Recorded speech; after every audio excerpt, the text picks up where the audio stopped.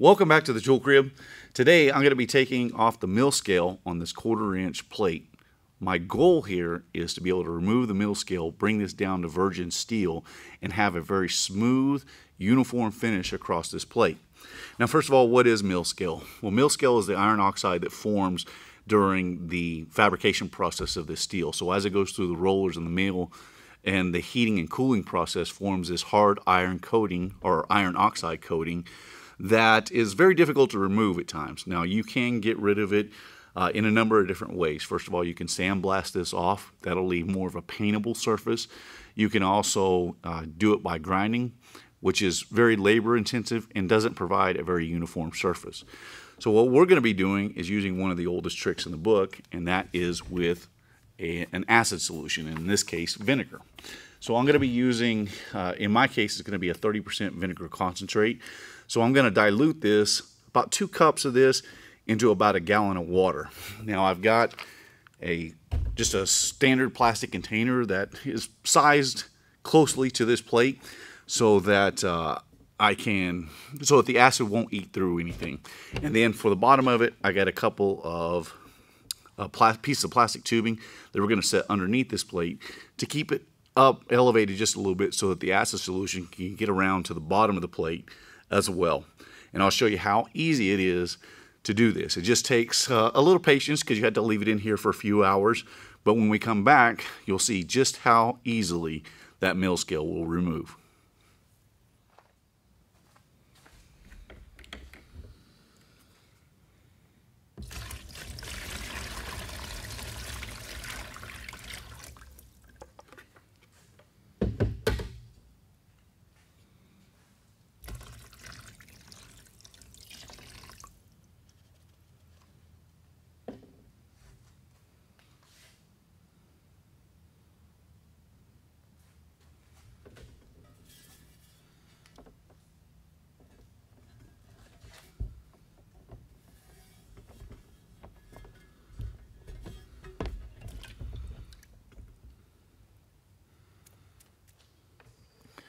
Okay, so this has been sitting in the acidic solution now for about three hours. If we zoom in here a little bit, you can really start to see how that uh, acidic solution is starting to pop that mill scale off there. So the majority of this should wipe off now. There might be a couple of spots that we'll need to let it sit in the solution for a little while longer. So I'm going to set the camera up and I'm going to wipe this uh, mill scale off the best I can. And then we're going to flip it over, wipe the other side down, and probably let it sit in there for another hour or so so that we can ensure that we get it all before we get it out for its final rinse and then really start to clean on this plate.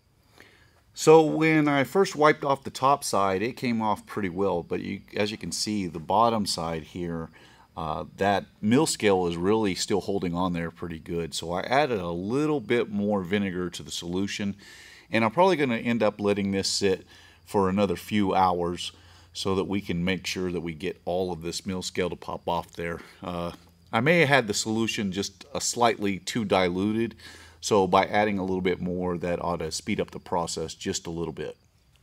Okay, so I've let this sit for a few more hours just to make sure that it will come off cleanly. So we'll give it a wipe down here. And it looks like all of that mill scale is now releasing quite well.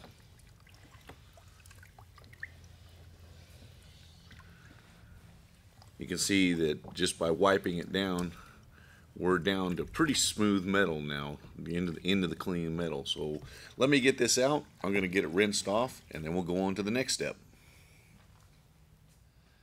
Now that we have the majority of the mill scale off of that plate, we're going to switch over to the DeWalt cordless grinders. And the first thing we're going to do is use the uh, wire wheel. And that's going to get rid of any little residue of mill scale that might be left on the plate. Once we've done that, we're going to switch over to this disc. This is the Clean and Strip XT Pro disc from 3M. This is a fantastic disc for cleaning up. Uh, this will actually eat through mill scale without having to prep it in a vinegar solution first, though it's a little time consuming and it's a little hard on the disc. So it's better if, to do it and set it in a solution like we have to get the majority of that mill scale off of there. And then this disc will leave a really ultra fine finish. These are designed to eat through rust, to eat through mill scale and paint and primer and stuff like that. These are fantastic discs uh, that uh, I've been using for the last few years now, and I really like these. I'll leave links down below to to these discs. These are a little on the pricey side, but they are definitely worth it.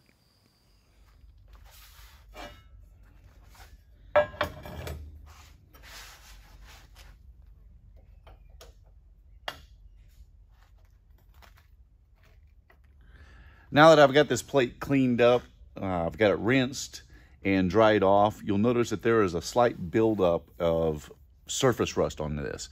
Now, the way to prevent this, if, if you're only cleaning to this point and you're not going to be doing anything further like I am, I didn't worry about it in my case because I knew I was going to be using the grinders on it, then what you'll want to do is come directly out of your vinegar solution straight into another container that has a baking soda water solution. And that baking soda uh, dissolved into water will neutralize the acid effect. And so when you pull it out to clean it up, you'll you'll eliminate this surface rust or the vast majority of it anyway.